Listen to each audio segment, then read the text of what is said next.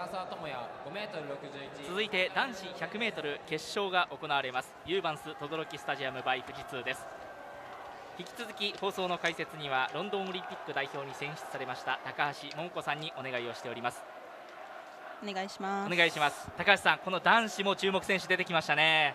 そうですね。ここもパリオリンピックに出た選手や、はい、また4年生の選手やまたタレント揃いのみんな実力が備わっている選手がいるのでそこも女子に引き続き楽しみなレースになるかなと思います。そうですね。今画面中央で映っている水色のユニフォームが宇沢とは筑波大学の4年生パリでは 200m で準決勝進出がありました。予選で自己ベストを更新してこの 100m は10秒25というタイムになっています。そして今画面に映っているのが東洋大学3年生の柳田大樹。学生個人では準決勝追い風3.5メートルという参考記録ではありましたが高橋さん9秒97というタイムありましたね。すごいですね、追い風ながらでもその風をもらいながら走るっていうこともまたすごいことですので楽しみですね。今日はほとんど風が1日通して吹いていません。6年ぶりの轟開催となりましたこの日本インカレで選手たちの喜びの声は轟くんでしょうか。さあ男子 100m 決勝選手が紹介されてまいります。男子 100m 決勝。8レーン三輪颯太慶應義塾大学。世界リレー代表4年生です。7レーン柳田大輝東洋大学。パリ以降日本インカレが初の 100m になります。柳田大輝。6レーン井上直樹早稲田大学。好調の井上直樹です。5レーン宇沢とは筑波大学。パリ 200m 代表笑顔があります。宇沢とは。4レーン合同武弘明治大学。2年生の選手です。準決勝1着。3レーン山本昌磨広島大学。こちらも世界リレー代表4年生。こちらも準決勝3組1着です。愛宕来東海大学。3年生です。1レーン大石陸東洋大学。こちらは2年生の選手です。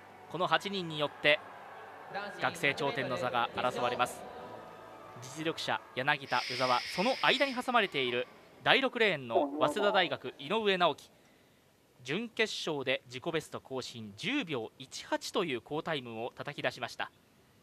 その隣の第7レーン柳田大輝。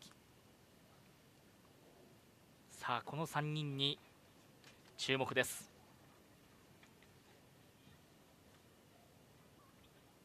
10秒の電撃戦。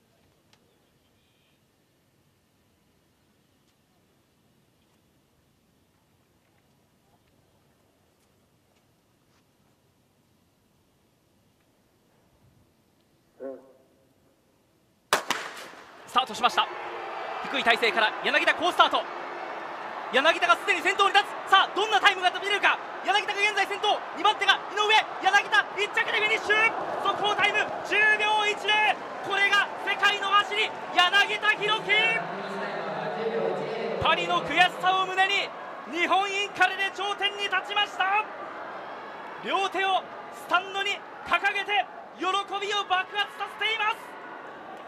やはりいろいろオリンピックでも感じてきたと思いますし準決勝からまた見違えるギアを一段上げたっていうような走りが決勝を見据えての走りだったのかまた決勝だから出せる力なのか、まあ、それは柳田選手が持っている力を今ここで全て出せたんじゃないかなというふうに思います。まパリ以来の初の 100m の公式戦がこの日本インカレでしたが準決勝の走りは調子どうなんだろうと柳田らしさで言いますとどうでした？そうですね。こちらがあどうなのかな？決勝どうかなっていうところはあったんですけどそこをやはりやってきたかっていう感じの気持ちいい走りでしたね。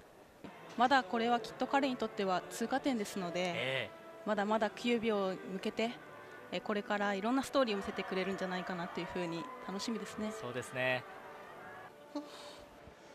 では男子 100m 優勝されました柳田選手です。おめでとうございます。ありがとうございます。気合意地を感じました。フィニッシュの瞬間の気持ちいかがでした、はい、もう意地ですよ。まあ負けてらんないなと思って。はい。まあまあタフな一日になるってことはもう十分分かってたんで。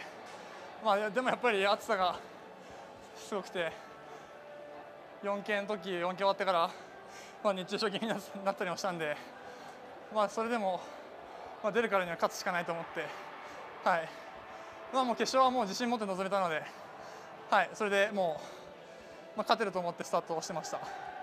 レースの内容そしてタイムについてはどのような評価ですか？そうですね、まあ、まあ、これでシーズン 100m 終わりなんで、はい、ある程度納得はいって、えー終われるかなと思います。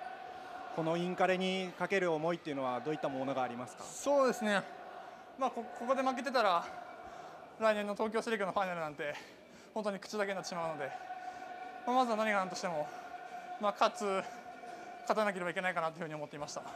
スタートラインの緊張感などはいかがでしたか？いやーまあ緊張はしましたけど、まあ本当にななんていうんですかね、スタートの直前に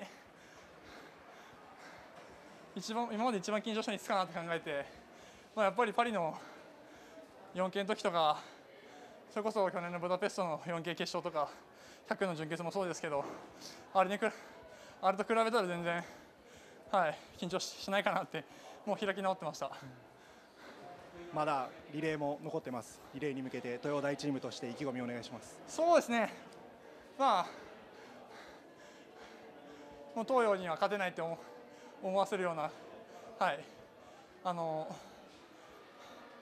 なんていうんですか、まあ、ぶっちぎりで優勝したいなと思います。ありがとうございます。柳田選手でした。おめでとうございました